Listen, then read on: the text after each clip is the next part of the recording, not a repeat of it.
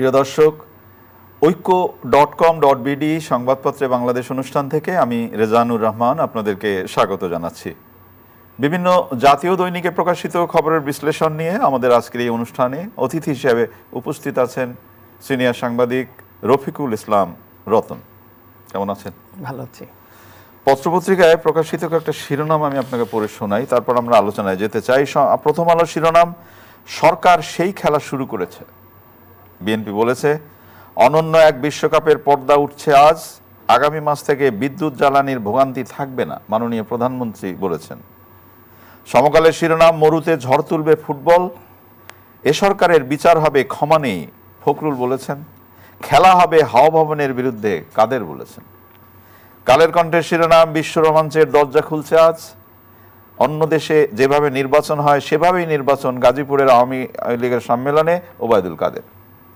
ইত্তেফাকের শিরোনাম ফুটবলের বিরুদ্ধে ফুটবলের বিশ্বযুদ্ধ শুরু আজ। নির্বাচন ছাড়া ক্ষমতা পরিবর্তনের বিকল্প নেই ওবায়দুল কাদের বলেছেন।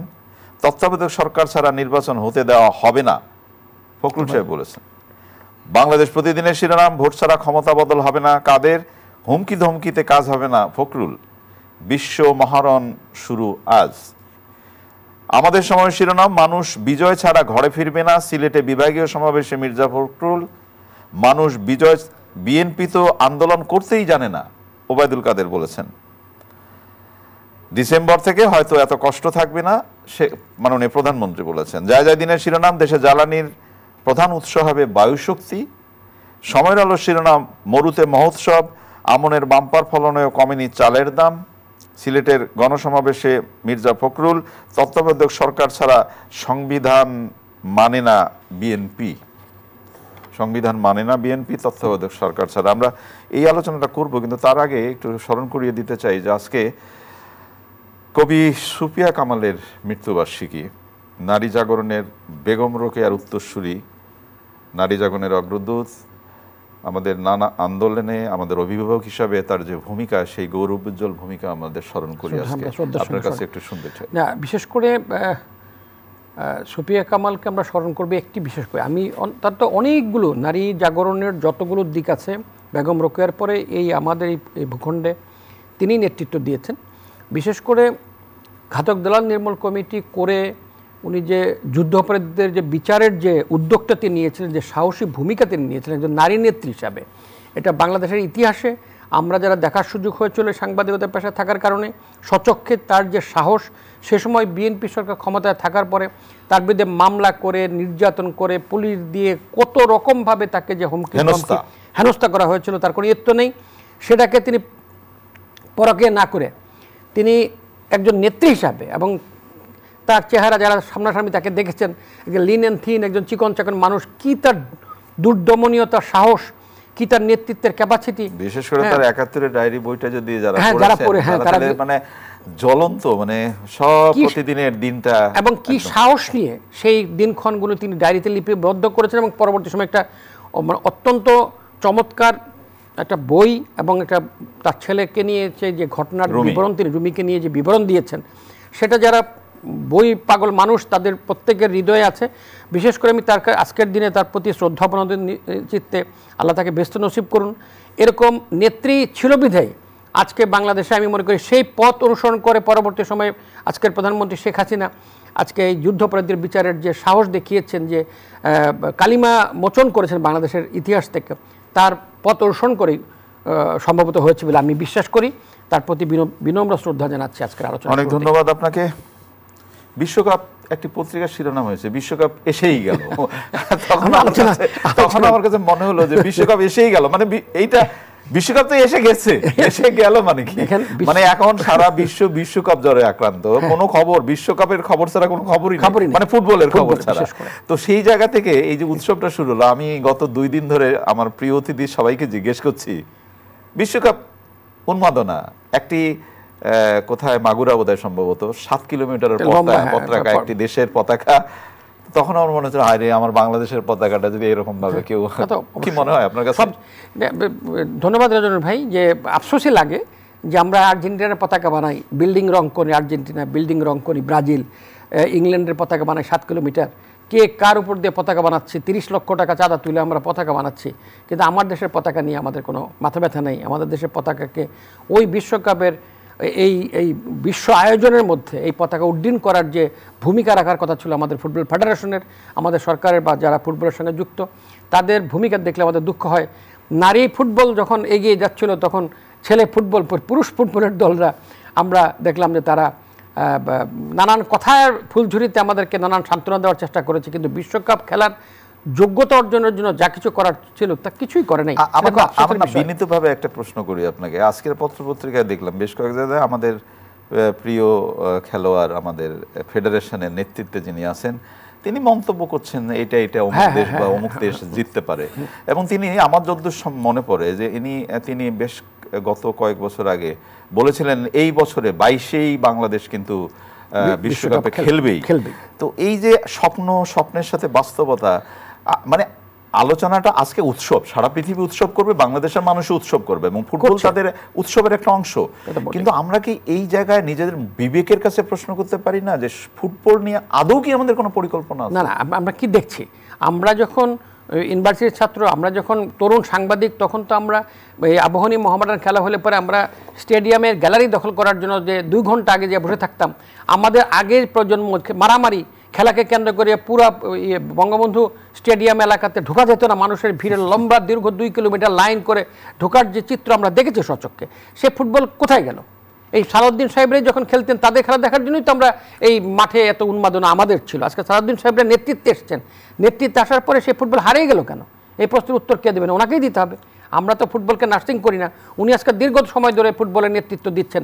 উনি বাংলাদেশের এক নম্বর ফুটবলারদের একজন শীর্ষ ফুটবলারদের একজন তিনি ফুটবলের নেতৃত্বে থাকার পরে ফুটবলের যদি করণ দশা হয় তাহলে তো আমাদের এই করুণা আমাদের এই কথা রফিকুল হাসানের মতো আমরা উৎসব দেখতে চাই না আমরা উৎসবের অংশ হতে অংশ হতে অংশ হ্যাঁ, হতে হ্যাঁ, অংশ তো আমরা দেখতেই পারব। হ্যাঁ আমরা সারা এই সামনের একটা মাস ফুটবল মানে উৎসবে সারা পৃথিবীতে উঠবে এবং আমরাও সেই সাথে আছি উৎসবে আছি। অবশ্যই। কিন্তু আমরা অংশগ্রহণ করতে চাই ভবিষ্যতে। সেই প্রত্যাশাটা রেখে একটু ভিন্ন প্রসঙ্গে যেতে চাই রাজনীতির জায়গায়। মানে এখন তো রাজনীতির আলোচনাই সবচেয়ে বেশি। পত্রপত্রিকায় দুই দলের সমাবেশের নিউজ আছে এবং এখানে রাজনীতিতে বলা হচ্ছে এ সরকারের ক্ষমা নেই বিচার হবে মির্জা ফখরুল বলেছেন। আবার মোবাইদুল কাদের বলছেন খেলা হবে হাওয়া ভবনের বিরুদ্ধে। দেখুন এটা চলতেছে গত প্রায় এক পক্ষকাল ধরে। সারা দেশের বিভিন্ন জায়গায় বিএনপির পক্ষ থেকে মহানগরীয় জেলা বিভাগীয় শহরগুলোতে তারা সমাবেশ সিলেট হ্যাঁ, শেষ সিলেট। হলো। আর সামনে জাতীয় সম্মেলনকে কেন্দ্র করে আওয়ামী লীগ জেলা পর্যায়ে, বিভিন্ন জেলা, উপজেলা পর্যায়ে তারা জাতীয় সম্মেলন, ত্রিবার্ষিক সম্মেলন করছেন। এই সম্মেলনকে কেন্দ্র করে কথার ফুলঝুরিতে আমরা নানান রকম মুখরোচক শব্দ আমরা লিখছি। যে বিএনপি নেত্রী বেগম খালেদা জি একসময় বলতেন যে তত্ত্বাবধায়ক সরকার পাগল এবং শিশু ছাড়া তত্ত্বাবধায়ক সরকারের আর দরকার নেই। তত্ত্বাবধায়ক সরকার আন্দোলনে যখন আওয়ামী লীগ এগিয়ে যাচ্ছে, বিএনপি তত্ত্বাবধায়ক সরকার মানবেন না। আজকে সেই তত্ত্বাবধায়ক সরকার নিয়ে কোর্ট কাচারি করে সেই সর্বোচ্চ আদালতে অ্যাপিল বিভাগ থেকে তত্ত্বাবধায়ক সরকারকে সংবিধান যে তত্ত্বাবধায়ক সরকারকে সংবিধানের মধ্যে অংশ করা হয়েছিল সেটাকে তিনি অবৈধ ঘোষণা করেছে কে? সর্বোচ্চ আদালত। সেই তত্ত্বাবধায়ক সরকার নিয়ে এখন বিএনপি উঠে পড়ে লেগেছে। হ্যাঁ তত্ত্বাবধায়ক সরকার ছাড়া নির্বাচন হতে দেওয়া হবে না। হবে না। এবং তারা বিশ্বের তারা এই শেখ হাসিনার অধীনে নির্বাচন করবে না। অপরদিকে আওয়ামী লীগ তারা বলছেন যে তত্ত্বাবধায়ক ওই কথাই বলছেন যে তত্ত্বাবধায়ক সরকার যারা বিশ্বাসী করতো না, আজকে তত্ত্বাবধায়ক সরকারের জন্য আসছে, তারা অবৈধভাবে ক্ষমতা দিতে চায়, নির্বাচনের মাধ্যমে সরকার পরিবর্তন করতে চায় না। তারপরে তারা বলছে যে হাওয়া ভবন যা করেছে তাদের সময় হাওয়া ভবনের দুর্নীতি, তার বিরুদ্ধে খেলা হবে। এবং এই খেলা হবে শব্দটা পশ্চিমবাংলার থেকে আসা। একসময় মমতা ব্যানার্জি বলেছিল খেলা হবে সেখানে মোদি এসে মানে কলকাতায় অনেকে আবার খেলা যে হবে। ওর পরে নারায়ণগঞ্জ থেকে আসছে খেলা হবে। আমাদের এখানে শামীম ওসমান বলেছিল খেলা হবে। খেলা হবে এখন মুখরোচক একটা শব্দ।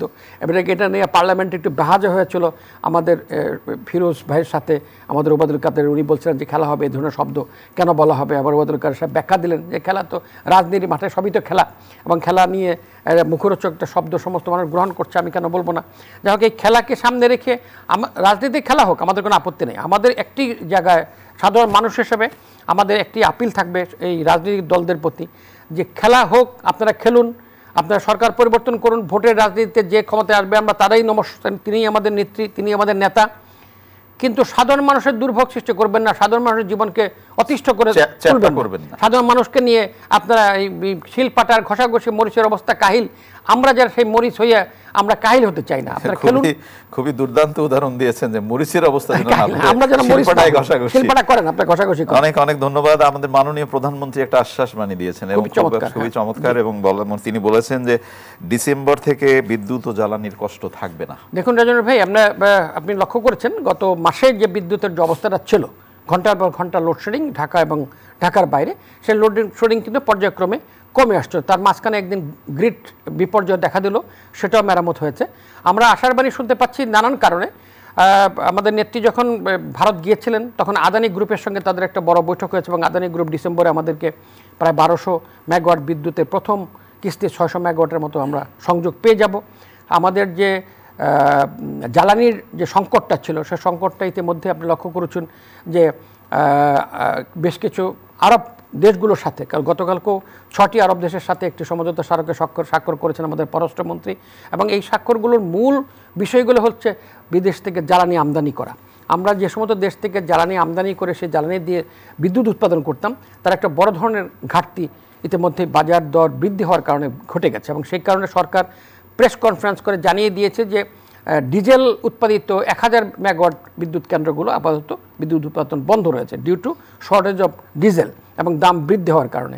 সেই ক্রাইসিসটা আমরা আশা করছি যে ডিসেম্বরের দিকে সেই ক্রাইসিসটা মিটে যাবে। জ্বালানি আমদানিটা সহজভাবে করতে পারব এবং ইতিমধ্যেই কয়েকটি দেশ আমাদের প্রস্তাবও দিয়েছে যে তাদের ক্রুড অয়েলকে আমরা রিফাইন করছি। আমাদের যে পুরানো একটি রিফাইনারি আছে সেই রিফাইনারি যেমন রাশিয়া আমাদের একটা প্রস্তাব দিয়েছিল। সেটা আমাদের না আমরা পারি না। সেই রাশিয়ার সেই ক্রুড অয়েলটা আমরা রিফাইন করতে পারছি না। নতুনভাবে অ্যারাবিয়ান কান্ট্রিগুলো কাতার থেকে একটা প্রস্তাব এসছে যে যে ক্রুড অয়েল তারা দেবেন, সেটাও আমরা এভাবে ভালো রিফাইন করতে পারছি না। তারা রিফাইনারি করে এই ক্রুড অয়েল দিতে চান। প্লাস এলএনজি আমদানির ব্যাপারেও এর আগে ব্রুনাইয়ের সুলতান এসেছিলেন। তিনি তার মাধ্যমে একটা প্রস্তাব এবং সমঝোতা সড়ক স্বাক্ষর হয়েছে যে, সেখান থেকে আমরা এলএনজি আমদানি করতে পারি কিনা। আমার মনে হয় যে যে উদ্যোগগুলো চারদিক থেকে নেওয়া হচ্ছে এবং আর আরেকটি জিনিস আশা করব যে, এর মধ্যে যদি ইউক্রেন এবং রাশিয়ার যুদ্ধটা থেমে যায় তাহলে আমাদের পরিস্থিতি আমরা উন্নত অনেক অনেক ধন্যবাদ। আমরা একেবারে অনুষ্ঠানের শেষের দিকে রতন আপনি নিশ্চয়ই খেয়াল করেছেন যে একুশে বই মেলা সমাগত বাচ্চাদের বই নেওয়া পাওয়া নিয়ে একুশে মানে বছরের প্রথম দিনই বাচ্চাদের স্কুলের শিক্ষার বই পাওয়া এটা একটা আমাদের ঐতিহ্য হয়ে দাঁড়িয়েছে। কিন্তু আজকের পত্রিকা বা কত কয়েকদিন ধরে বই পাওয়া নিয়ে অস্থিরতার কথা বলা হচ্ছে এবং যেখানে পঠন পাঠন পড়ার ব্যাপারে মানুষের আগ্রহ কমে যাচ্ছে, সেই জায়গায় যদি বই বা বই ছাপা নিয়ে এ ধরনের অস্থিরতা দেখা হয়, তাহলে কি শেষ পর্যন্ত বউ জাদু- জাদুঘরে যাবে মনে আমরা আমি বলি আপনাকে অনেক দিন যাবত আমার লেখালেখি করছি এবং এটা নিয়ে সরকারের পক্ষ থেকে কোনো রকম বক্তব্য শুনছি না বিদে আমি আরও একটু আহত। সেটা বড় ধরনের একটা ক্রাইসিস দেখা দিয়েছে আমাদের কাগজ আমদানিতে, কাগজ। আমরা জানি যে আপনি যেটা বললেন যে একটা ঐতিহ্যগত হয়ে গেছে যে পহেলা জানুয়ারির এক তারিখে ছাত্রছাত্রীদের বই নতুন নতুন বই। ছাত্রছাত্রীর হারে একটা বড় বই উৎসব হয় সারা দেশব্যাপী। এই সেটার শুরু হয় সেপ্টেম্বর অক্টোবর থেকেই যে এই- এই পাবলিশাররা বই প্রকাশ করবেন প্রিন্টাররা। কিন্তু এবার দেশে যে নিউজ প্রিন্ট উৎপাদন হতো এবং বিদেশ থেকে যে আমদানি করা হতো ডলার ক্রাইসিসের কারণে আমদানিতে এবার নিরুৎসাহিত করা হচ্ছে। ব্যাঙ্কগুলো ঠিকমতো এলসি খুলছেন না। দেশের যে নিউজ প্রিন্ট মিলগুলো আছে সেটা ডিমান্ড অনুযায়ী তার ওয়ান ফোর্থ তো তারা সাপ্লাই করতে পারছে না। এই শর্টেজ অফ নিউজ প্রিন্ট এই কাগজের কারণে বই উৎপাদনে বড় ধরনের একটা ক্রাইসিস দেখা দিয়েছে এবং সংবাদপত্রগুলো আমি যে আমরা যেহেতু সংবাদপত্রের লোক আমি বলছি যে সংবাদপত্র গত মাসে দ্যাট ইস এটা নভেম্বর অক্টোবর মাসে এক টন কাগজের দাম ছিল যেখানে আশি হাজার টাকা এখন এক এক লাখ পনেরো হাজার টাকা গতকালকে। সুতরাং এই ক্রাইসিসের মধ্যে সংবাদপত্র বই ছাপা অনিশ্চিত আপনি যেটা বললেন যে মৃত ছেলেপেলেদের বই জাদুঘরে চলে গিয়ে মোবাইল অ্যান্ড্রয়েড ফোনের দিকে চলে গেছে। এই বইয়ের যদি ক্রাইসিস দেখা দেয় তাহলে আমরা ভুলে যাবে। ভুলে বই নামে কোনো জিনিস আছে এটা ভুলে যেতে হ্যাঁ, আর এই সংকট অবশ্যই আছে এটা যেন। না থাকে উত্তরণ করে সরকারকে আমি আহ্বান জানাব এই সংকট দ্রুত উত্তরণের জন্য। অনেক অনেক ধন্যবাদ। প্রিয় দর্শক আমরা শেষে যে আলোচনাটি করলাম বই ছাপা নিয়ে বছরের প্রথম দিনে আমাদের ছাত্রছাত্রীদের হাতে বই তুলে দেওয়া আমাদের একটি ঐতিহ্য। মাননীয় প্রধানমন্ত্রীর ঐকান্তিক প্রচেষ্টায় এটা বছর ধরে চলে আসছে। এবার জন্য একটু শঙ্কা জাগলো, আশা করি এই শঙ্কাটা মিটবে।